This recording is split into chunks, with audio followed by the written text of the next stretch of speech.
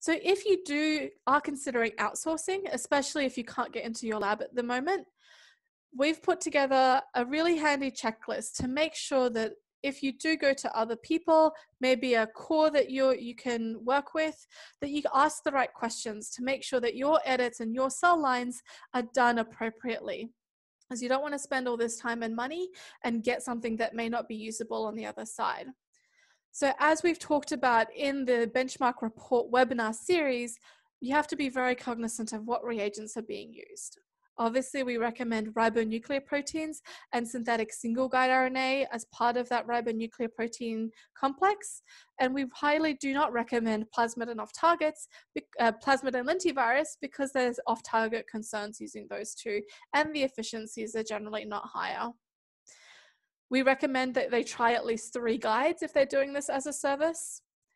And asking how they optimize the transfection do they do a 200 point transfection optimization?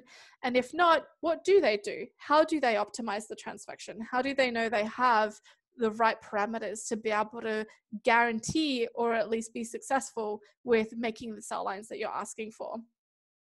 How do they transfect the cells? Are they using electroporation, which is considered the gold standard for editing cells? we know that lipid based transfection will reduce the efficiency of their transfection by 20 to 50%, again, reducing the potential for them to succeed in generating that model. And so we at Synthago always use electroporation for all of our editing. Do they use antibiotic selection? This is a common way of shortening turnaround time. However, we do not recommend it as it can generate unwanted biological effects. And you technically still should be doing a single cell cloning protocol after antibiotic selection if you go down that route because you still need to isolate genetic pure populations. How are they testing editing efficiency? We recommend some form of sequencing, whether it's Sanger or NGS, and then uh, analyzing using software such as ICE. If they're using T71 or other enzymatic assays, as we mentioned in the analysis module, these are not accurate, and so we do not recommend these be used for any editing workflow. How are they ensuring that single cell clones are actually derived? At Synthago, we have an automated image verification process. So, what does your particular choice do? And how long are they quoting for turnaround time? And how reliable is that turnaround time? This is going to be dependent on their capacity and their queue. Do they only have two scientists who are working on a whole institution's projects? At Synthago, we do not have a queue and we have an entire lab filled with scientists and associates ready to take your project. So we have no queue at Synthago and we are operational during the COVID 19 pandemic.